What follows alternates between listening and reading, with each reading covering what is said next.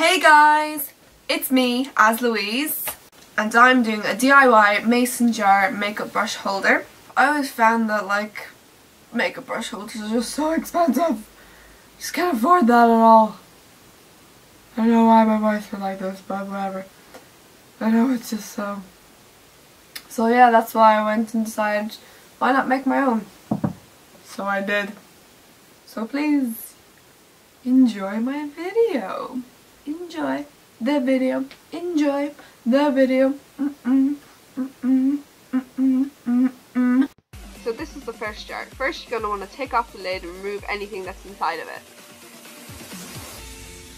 Then you're going to want to stick some sellotape or paper, or whatever you have, and spray it with some white spray paints. I, then after, once it's dry, take off the sellotape or white paper, and it looks a bit like this. Once you're finished, grab some glitter, which you're going to do, glue the glitter on with some glue. And yeah, voila.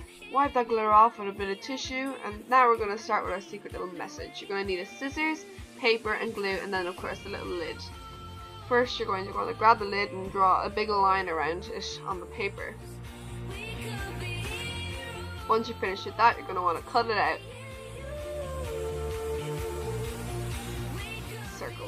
We're going to glue some glue back onto the lid and we're going to spread it all around. Then you're going to want to stick your paper that you cut out earlier and just wait till it dries. Slap it on. Now we're going to write a little secret message. Just because it's close to Valentine's Day I decided to write love you because it's cute. You're going to just draw a little love heart to add some detail.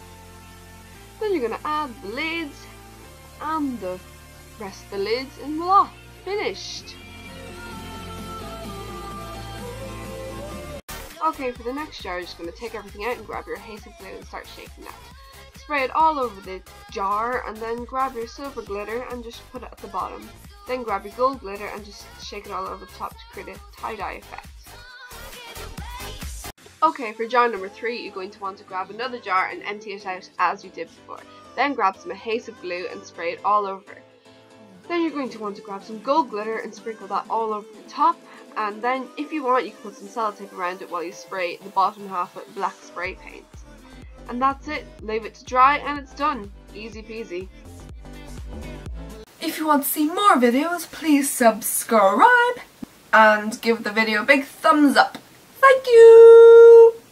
Yeah, that's it. Everything. Goodbye!